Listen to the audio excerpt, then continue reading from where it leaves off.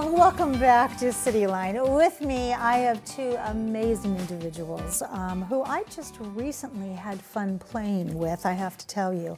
And they are here to talk about the springtime events at the Children's Museum of Tacoma. Please join me in welcoming Rolf Batista.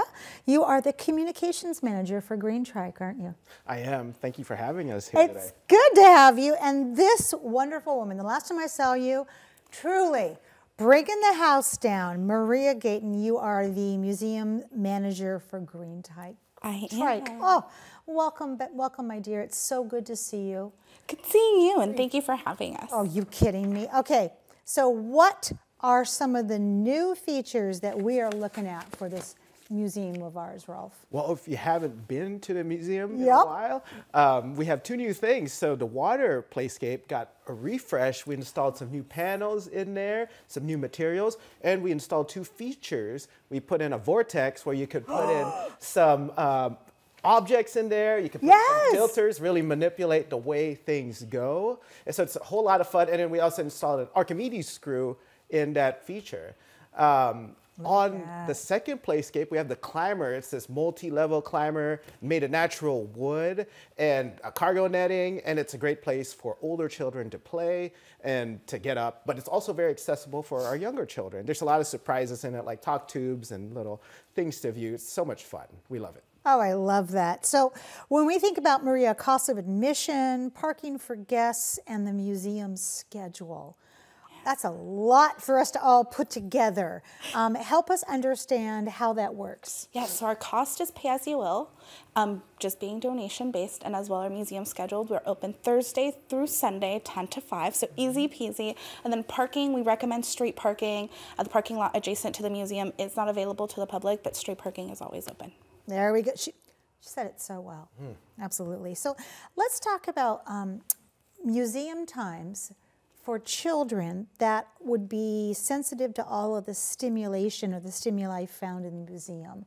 Because because there is that. I mean and so how do we help those children? Yes, so luckily we offer our low sensory hours on Thursdays, 10 to 1 at our Tacoma location. Um, it includes shutting down some lights, closing some doors, just offering that extra help for um, high sensory areas. And then as well, we have, we close some doors down.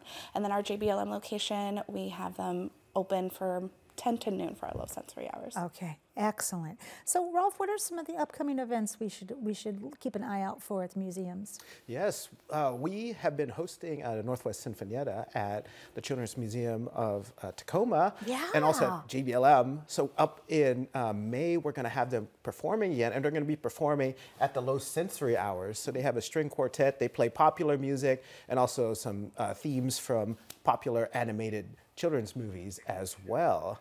And then we also have coming up are our Sparks workshops, uh, which are uh, one day a month art themed events. And the next one is going to be paper making in early April. So we have all the materials available for all our guests. So just come on down and I can make that. some fun things. Outstanding. So let's talk about another phrase that we know goes very well with Greentrike. And you kind of mentioned this, Miss Maria, and that's pay as you will admission.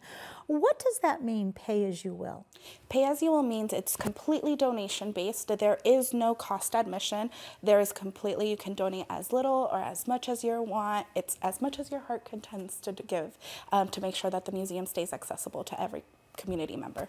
I love that. So when we think about a membership program, what are the benefits for members, Rolf, when we think about that? Because we've got that beautiful pay as you will, um, but then there are also things that a membership gives us that perhaps a pay as you will would not. Mm -hmm. uh, well, for one thing, the membership really helps fund museum operations as well. So we thank all our members for providing that support. But membership also comes with benefits. It's like discounts on some of our events and first access to some of our programs like preschool.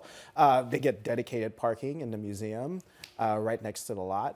And uh, for families in the area, our Playful membership gives uh, reciprocal discounts to museums in the region. And for families that love to go on adventures, the Little Travelers gives them discounts at over 500 museums across the country. So it's really great for those families that like to travel. Not just for us, they're supporting us, but they're also supporting museums across the nation. Wow. Okay, now that that got my attention. I was like, wow, across the nation. So Maria, people, I think that people know that we have a second museum, um, and it's out. Um, it's it's the JBLM Museum. Um, what can you tell us about this museum on base? Yeah, so our museum located at Joint Base Lewis McChord Yeah. over on the Fort Lewis side. We are um, about to celebrate our two year anniversary out there this April of opening, um, being the first children's museum on a military base. So beautiful. Um, we are pay as you will out at that location as well. We're also open Friday through Sunday, 10 to 5. Um, it's just always open and six playscapes to adventure. So plenty I- of fun. Excellent.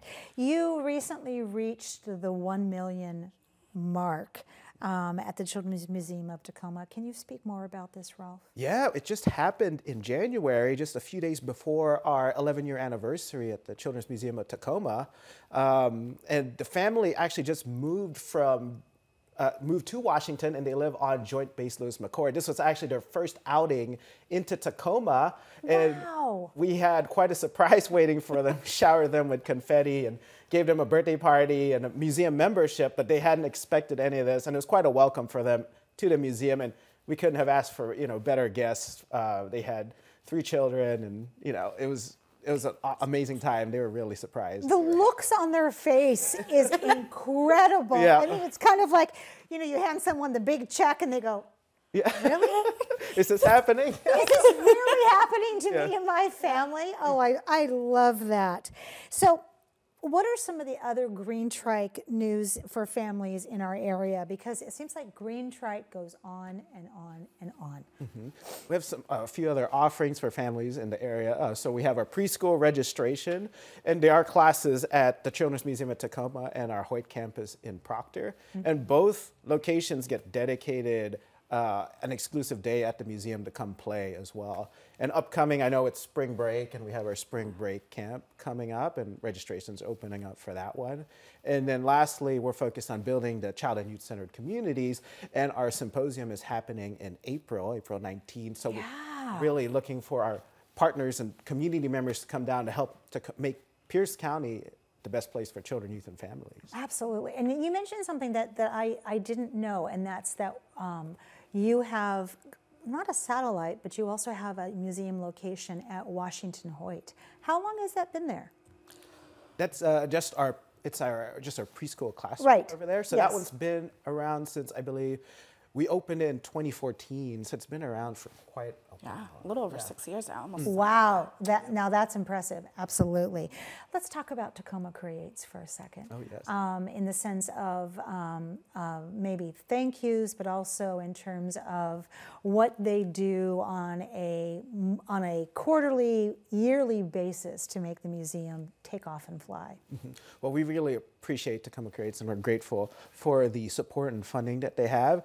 And they make programs like the Sinfonietta possible, Bring Rent to Low Yes. Hours. They make Pay As You Will possible, providing admission to families to our museums possible for those who may not have the access normally to a paid museum. So they provide all those things and they like museum fun days to have our different Sparks workshop to providing like just having this pay as you will atmosphere and making it very welcoming. So we're very grateful for that support and the work that they do, not just for us, but also for many cultural institutions in our community. Oh, abso- oh a- absolutely. I mean, Tacoma Creates, they, they, they really pave the way, don't they? Yes, they do. They absolutely do. Let's talk about um, when um, I saw you last. You took the breath out of the room um, with um, your, I don't want to say testimony, because it's, it's, it wasn't so much that as it was your journey in terms of Greentrike and what they have given to you and what you have given back to them.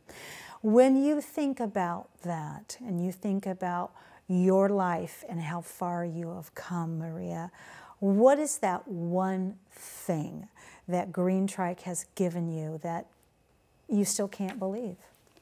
Hope and Ah! resilience. There it is, hopes. What else?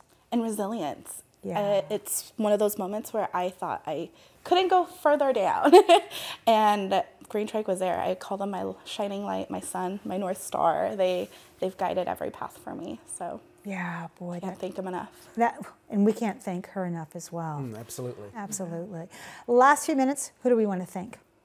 Besides Tacoma Creates and this beautiful woman. Of course. Also want to thank, of course, all our members and then everyone who helps with Pay As You Will in our museum each and every day.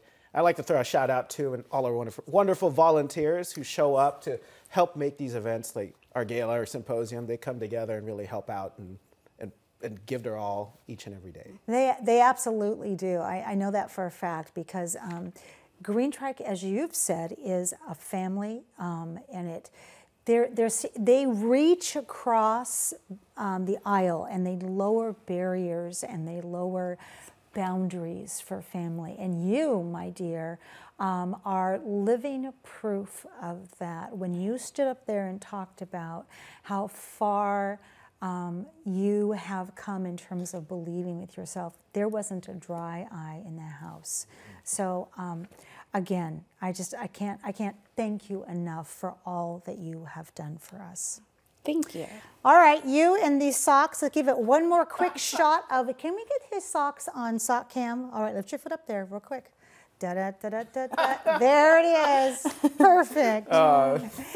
I want to say thank you so much for being here today, and I want you on the couch sooner than later. Okay. Well, thank you. It's been a pleasure. My pleasure.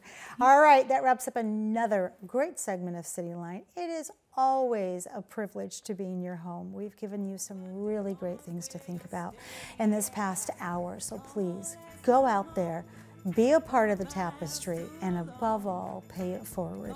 And when you come back, as always, we'll be waiting for you right here at Cityline. Take care.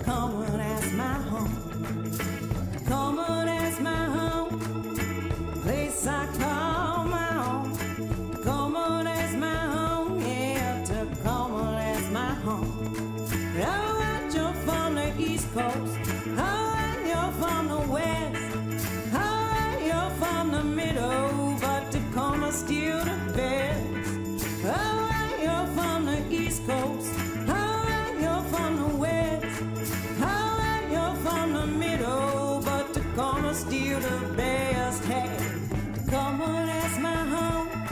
From the pines to the dawn.